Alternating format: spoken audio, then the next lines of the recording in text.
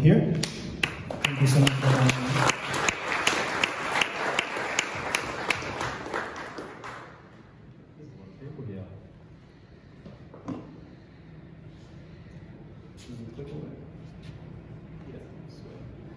Cool. Um, hello.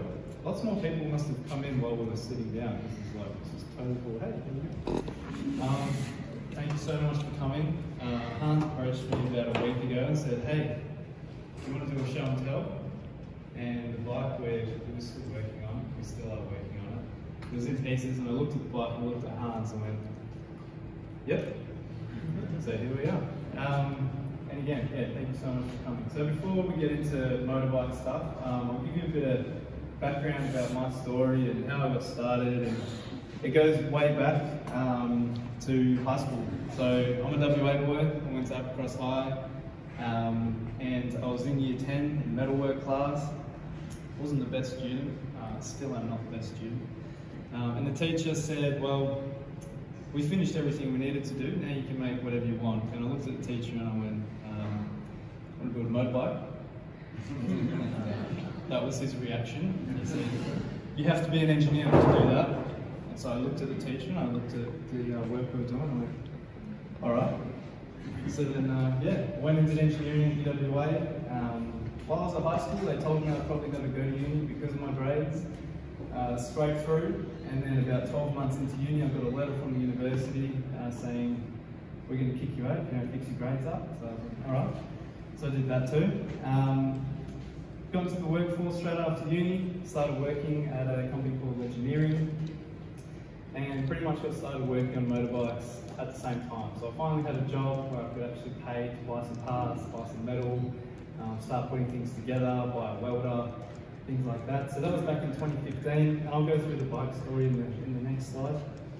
But basically, fast forward three years of um, slaving away and, and I worked really, really hard, had a lot to learn, a lot more than I realised.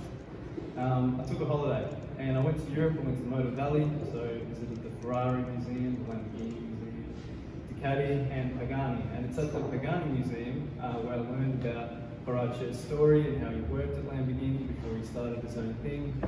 Um, and so I looked at that and looked in the mirror and went, all right, that's what I've got to do. And uh, about six weeks later, I was totally moved over to Melbourne um, with a new job and started working in the automotive industry. And I'm still working, uh, currently a Ford, it's a day job, and I absolutely love it. It's one of the best jobs I've ever had, so we're very fortunate. Um, so yeah, that's, and here we are today. So, just a little bit about motorbikes. Um, a lot of people came here today to probably hear that part of it, more so than my story. So on the first pallet, we've got four pallets, and that's that's our progression over the last five years. So the very first pallet you can't see from here, there's a frame on the ground, um, and you'll see the welds on that. Um, that's when we learned that you probably should use inert gas when you're welding. Um, so the welds are horrendous. We learned quite quickly, so that red bike with the red frame, that's a frame we actually built ourselves and there's six months between that first frame and that red bike. All the bodywork on it was handmade by us, sculpted the clay with no experience and built with fiberglass bodywork. There was side panels, but they're, I don't even know what they are anymore. Um, and yeah, so needless to say, that bike remained a static prototype. Um, we had no idea about fabrication when we started and messed it up completely halfway through and just finished it. Now it looks like a bike, so that was a great achievement for us. That was 2016. We spent all of 2017 planning, designing. We took all those lessons we learned in that six-month period and we went back to the drawing board. Uh, new designer joined us, Dave Hendroff. We were very fortunate to have him. Um, and we developed a concept for the 2018 bike, which is the third pallet. So this was the first bike that we built that ran on the road. It felt like a motorbike, it looked like a motorbike, and we were super proud of it.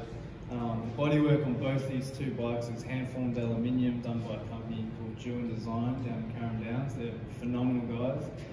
Um, and we built that bike through 2018 and we got a call from the Motorbike Expo, Moto Expo, and they said, we'd really like to have you along, would you be interested in launching your bike at our show?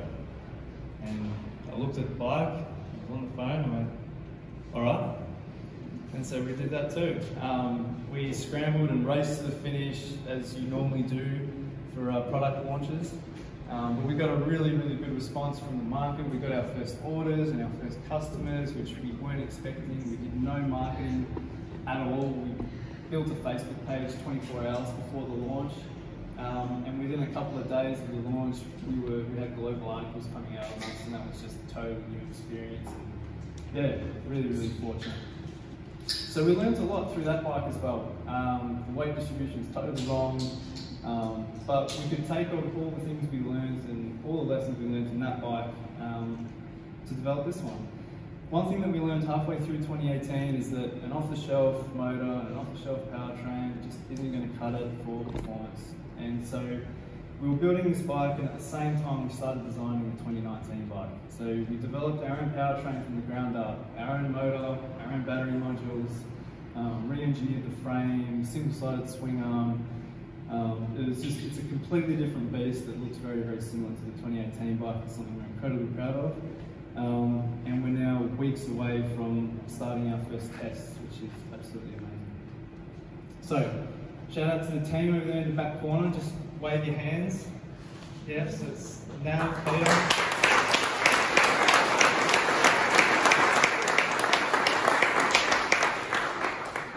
So it takes a lot of effort to, um, to put these things together, right? It's a lot of hours, uh, quite literally, blood, sweat and tears. Um, and the, the team have done a phenomenal job. We've had a minuscule budget so far. Um, and so for us to get to where we are now is, is really well truly amazing.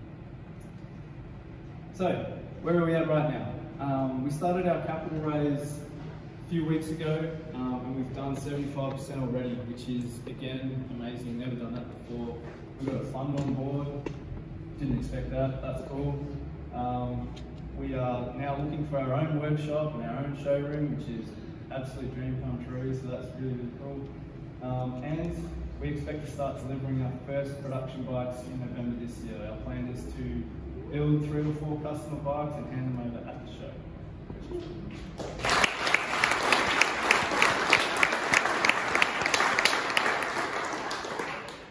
So as you can see, we hired a very high-end model for this photo shoot.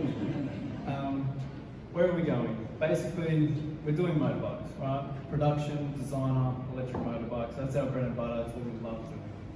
Um, but we are going to be developing a line of gear and merchandise to help build that brand and help take us global. Um, but we are going to start in Australia alone. So bike deliveries are going to be Australia alone for the next couple of years. And we have our vision to go global in the next five to ten, which is pretty exciting as well. A little bit about the technology. Um, so I've delved into the motorbike progression, but we are going to be developing a keyless experience for riders. Um, it actually works out a lot cheaper for the business to go keyless, and it's super cool. It's actually win-win. Um, we've got a world-class user experience that we're developing, and Kim, our software engineer, pick his brains on that. Um, battery technology. So the cells that we're using in this bike are our own module. They're a pouch cell. Uh, there's a sample on that first pallet down there. You're welcome to have a look. Just don't lick the terminal. Uh, really dangerous. Um, and we're completely re-engineering this battery pack for production as well. So we've been approached by a global battery supplier um, to supply us cells, which has been amazing um, and warrants a total redesign of the battery pack. Control systems, we've got some very exciting things coming with control systems. With electronics, you can do a lot of fancy things. Um, and I'm not going to spoil the surprise for a lot of these things. Um, but yeah, Peter is uh, our controls engineer. Um, he's ex-Formula One, ex-Red Bull Air Racing, and he's got some pretty crazy ideas that I love. Um, I'm not sure they're all legal yet, but we'll, we'll get to that. Um, and obviously the proprietary powertrain that we've developed from the ground up. So the powertrain unit for us is fully stressed in the frame, it's liquid cooled, um, it's one of a kind, it's, it's, our own design, which is, I still can't believe we have. Um, but it is a, a, beautiful platform that we're going to be using across multiple product lines for four different types of motorcycles um, that we are developing concepts for right now. So look, that's that's it from me. Happy to answer any questions you might have. And again, thank you so much for coming.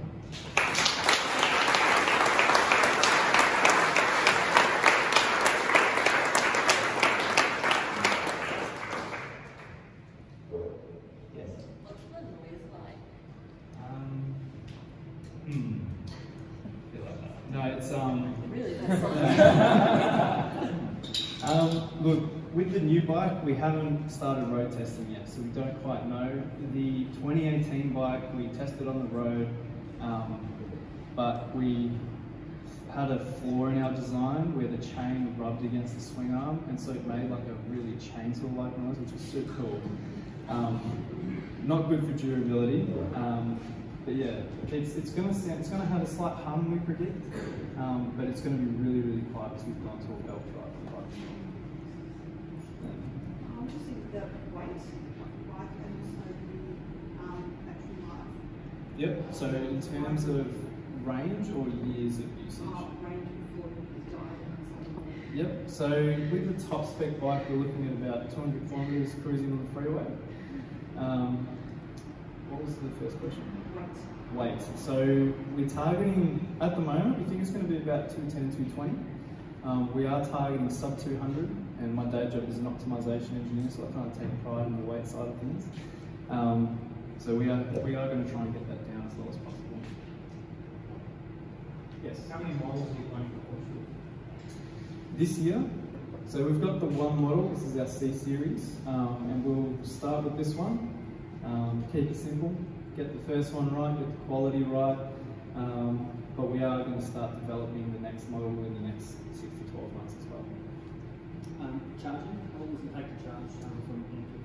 Yep, so if you're empty with the largest battery pack um, from a standard wall plug, um, you're looking at about five, six hours, depending on the pack size that we finish with. Um, we are looking at a DC fast charge option, to bring that down to anywhere between half an hour to an hour. Um, but we've actually found that a lot of our customers don't necessarily care about having a fast charge option uh, because of the 200 kilometre range. Uh, That needs more batteries. yeah. Longer than this microphone. Is that it? Just Swap that. yes. Any other questions? Yes.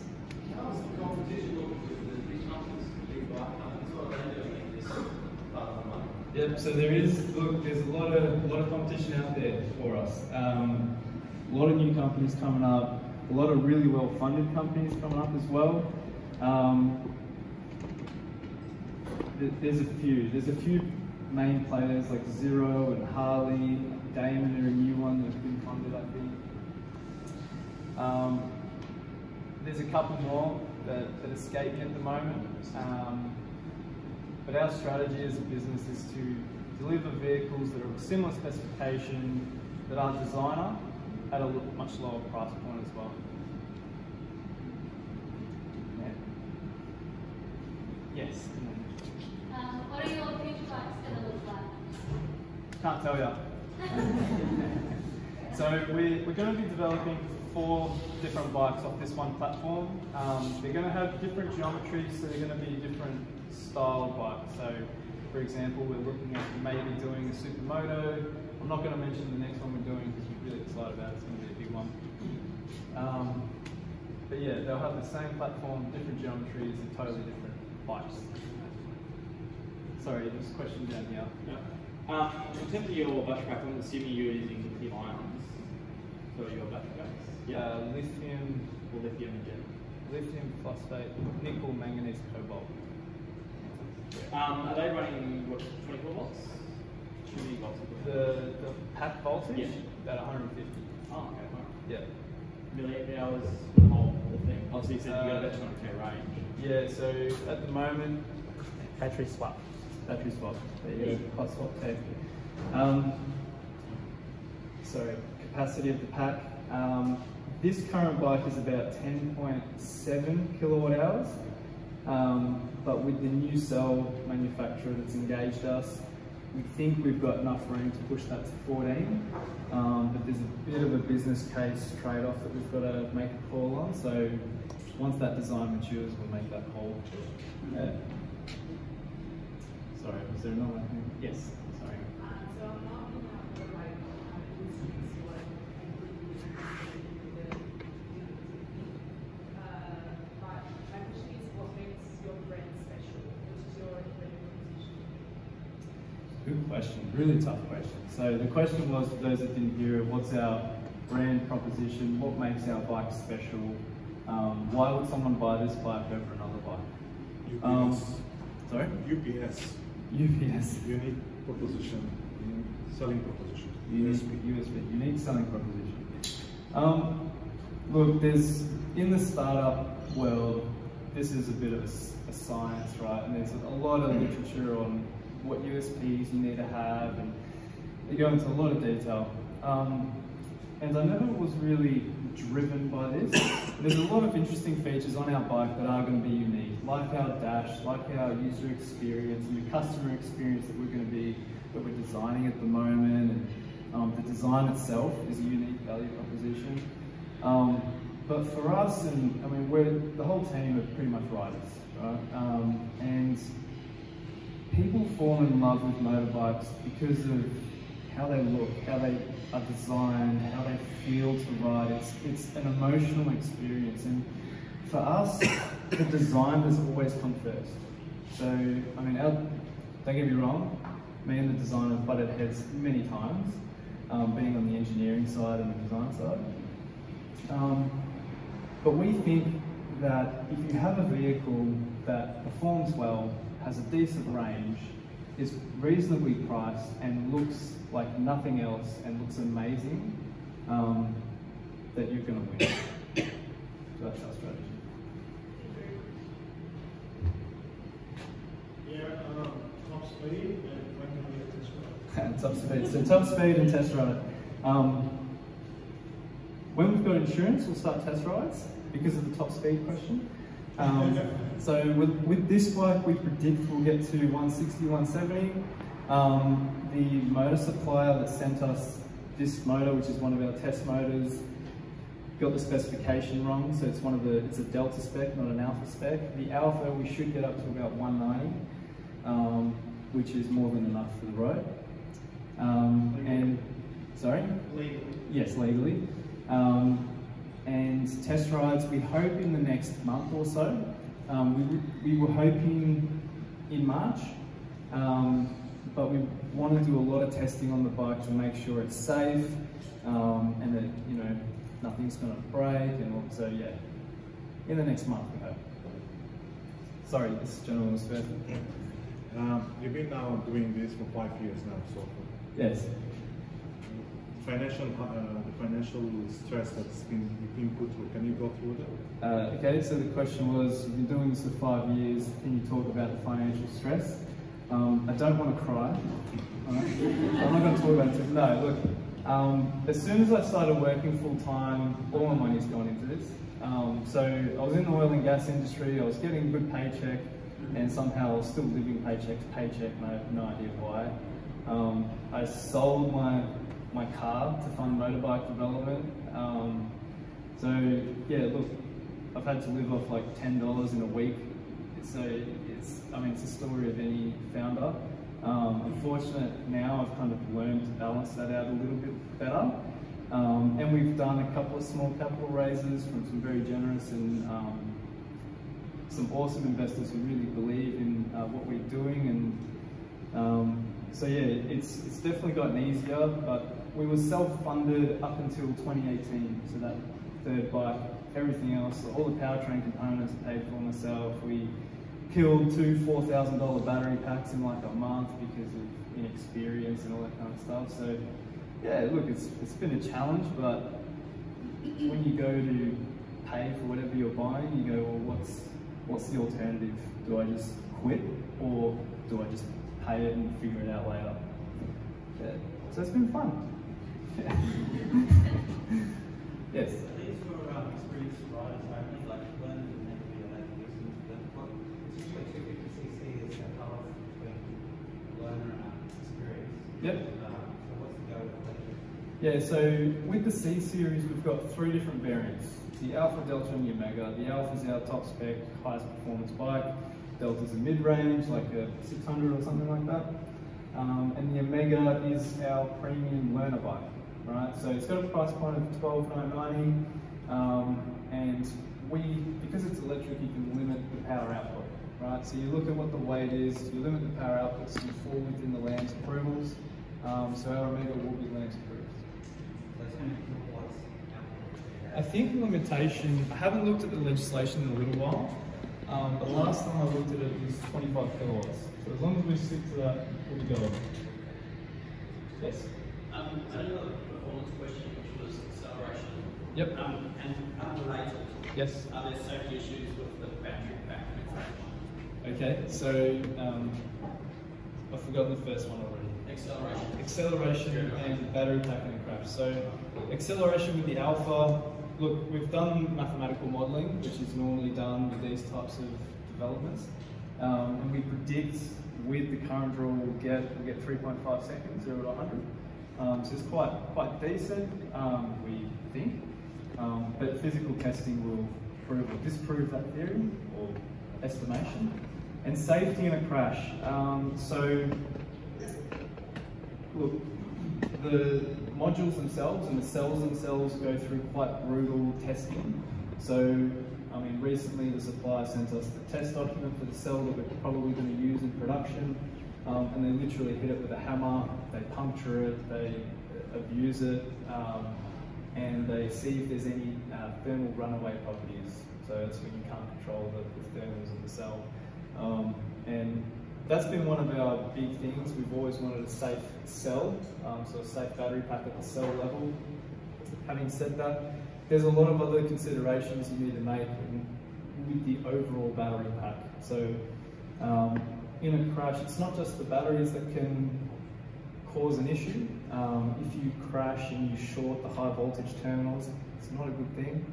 Um, normally, fortunately or unfortunately, depending how you think about it, when you come off a bike, you're normally separated from the bike. Um, so that is a safety feature, I suppose. That's true. So yeah, look, we're taking all those things into consideration in the design, um, and the pack as a pack will be as safe as we can possibly make it. Um, you know, when it comes to crash, there, there's things you just can't account for, and mean, any, any rider knows that. Thanks for that. Sorry. Yeah. Yep. Okay, uh, what's the name? Savic and uh, Lion.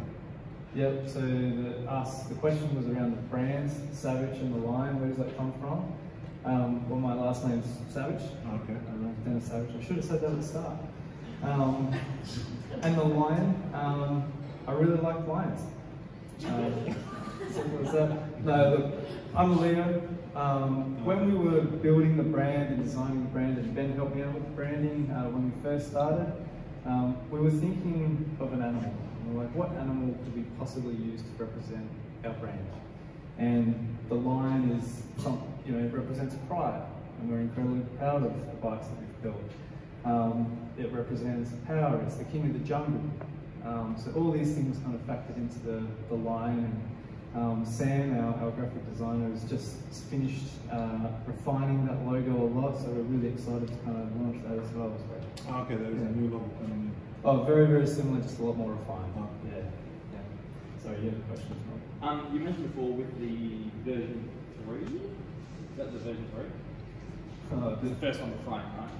yeah, so 2018? Yeah, that one. Yep. Um, you mentioned that it was very unbalanced and the weight distribution was quite bad. Obviously, the 2019 version looks a lot more refined. Yep. In terms of centre of gravity, is it quite low down in the actual vehicle? Is it Yep. quite balanced? So like, we're going to get a little bit technical. The question was around centre of gravity and what the difference is between 2018 and 19.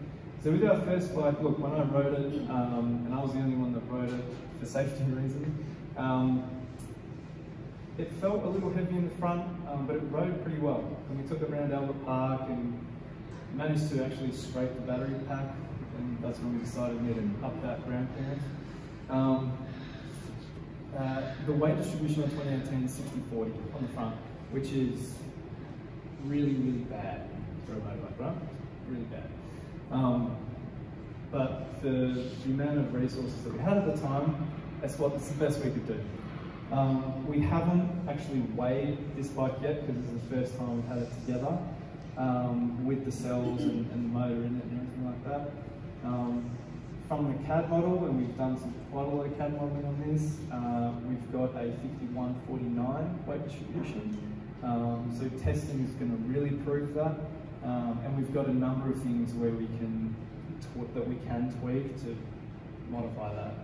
Um, the second question was, is the center of gravity quite low or high? Um, it's, it's neither. There's a sweet spot where the center of gravity needs to be so that you have an agile enough bike um, that's not going to fall over and something doesn't feel too heavy to throw around. So we're really lucky. Our chassis engineer is like, he's a published researcher in dynamics, like motorbike dynamics. Um, so he's pretty hard on us with, with series and stuff. So, yeah. Are we limited on time? Sorry, are we limited on time with questions? Or, or just keep going? All right, cool.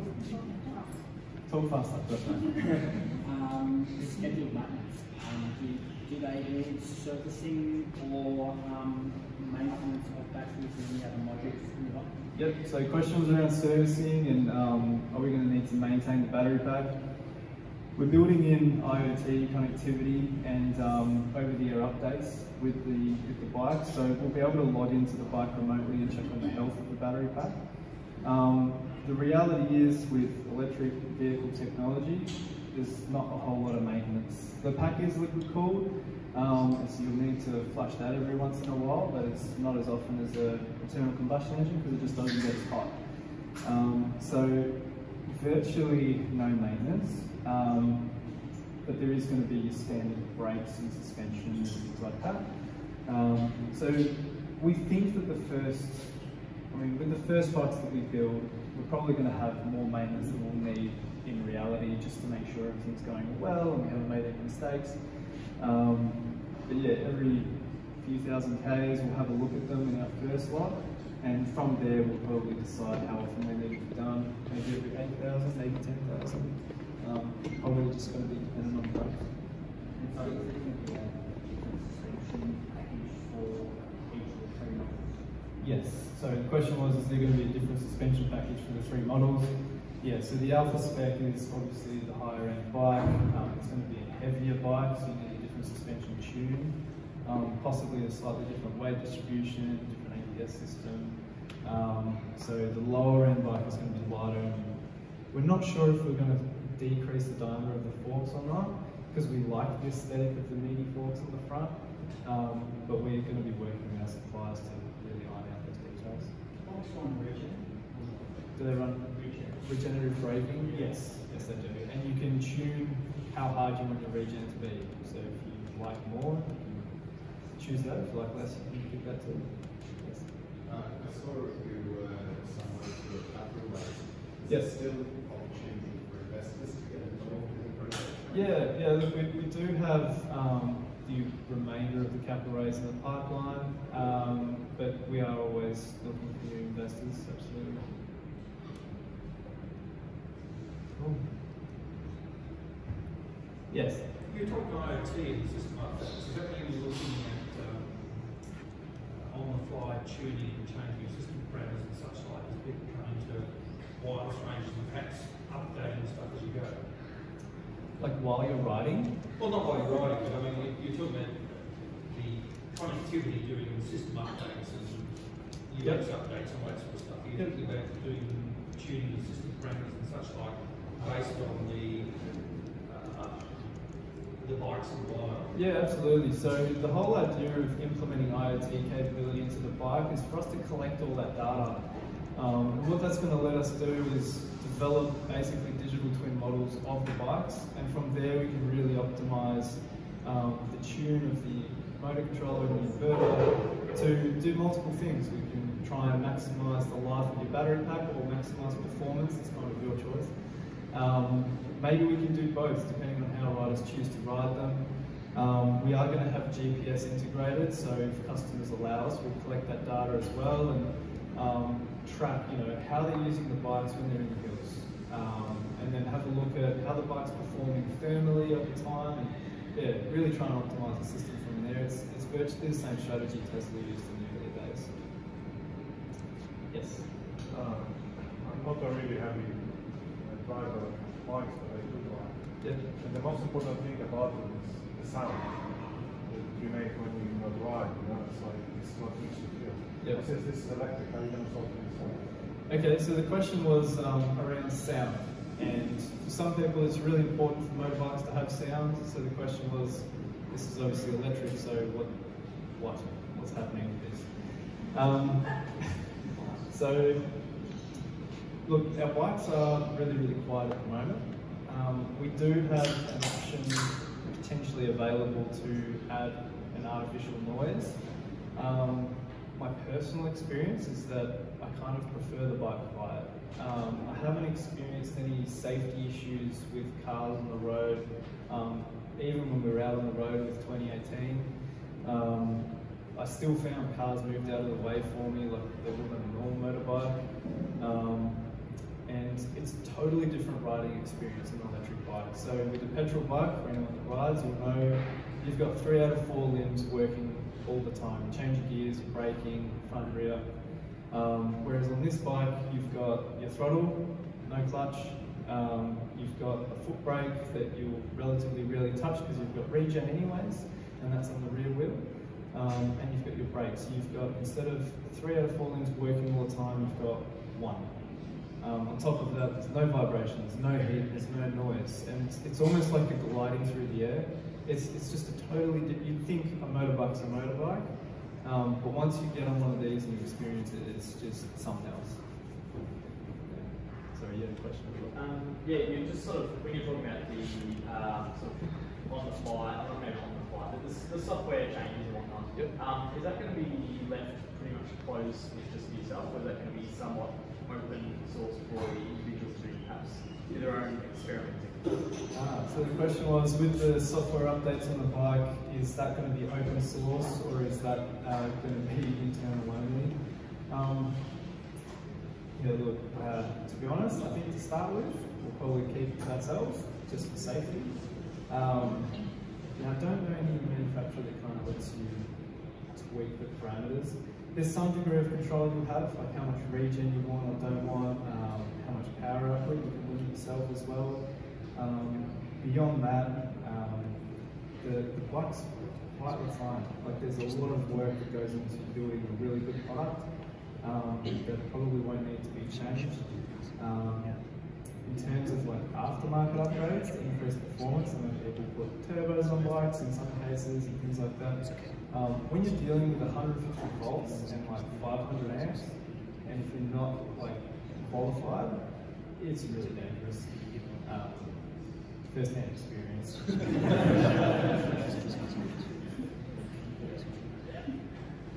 How many Ks do you think you'll get out of a battery pack? And will they be replaceable? Will they be what, sorry? Replaceable, so we'll be able to. So in terms of like total kilometres? Yeah. Um, so one battery pack with the alpha spec will go 150, 200 k's cruising on the freeway, depending on how you're riding it. Um, there's So lifetime, I mean? Yep, so in terms of life, um, with cells, with these particular cells, the supplier sends us data sheets, um, and the capacity will drop to 80% after two to 3,000 cycles.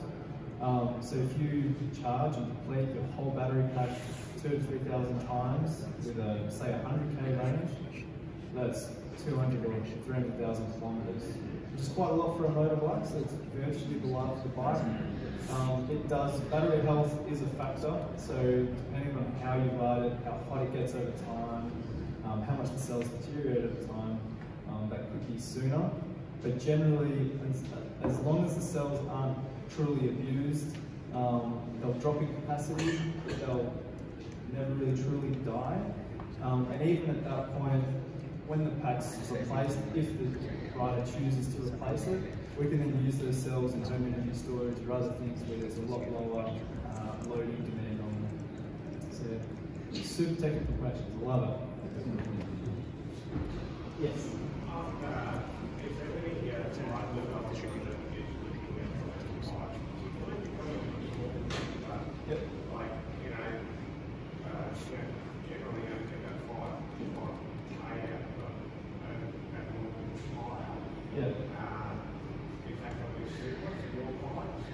So the question was around tyres. Are there specific tyres for electric motorbikes? Um, so I will get a little bit technical again. Apologise to those that are not interested in it. Um, but with tyres, yes, there are tyres being made for electric motorbikes and they tend to be harder, um, which means you get less rolling resistance, which means you get uh, less losses in the rides, you get a longer range. The trade-off is with harder tyres, and we know this, is that yes, you get more durability, but you get less grip. So there is a bit of a trade-off between how much torque you can actually put down on the road and how hard your tyre is. Um, so if you make it too soft, you won't get the life out of it. You'll be able to put down more power in theory you're at temperature. Um, and the harder, sorry, and the softer it is, you'll put down more and get less life. Don't know which one I said first. Um, so look, there is a trade-off, but tyres for motorbikes have been around for 100 years, and development in those has has gone to a level where you know it's there's no point in us dabbling in it ourselves. Um, it's very expensive to develop a new tyre. It's a long lead item in the automotive industry, um, and there's a lot of options out there that. I mean, a lot of customers generally like a particular brand of tyres. Um, and so normally they'll just pick those and put them on the bike and they'll feel good. Do you think about the sign with the standard price, about five K Um, look, it depends on what tyre you choose. Uh, we've got standard sizing, so 120, 17 inch, 120, 180, uh, front to rear. And so there's there's a lot of options out there that customers can pick and swap over. Any plans on making a race version not for the road? Yes, so of any plans on a race version, not for the road. Um, are we live? I can, I can, I can switch it off. Not live, not live. I'm just.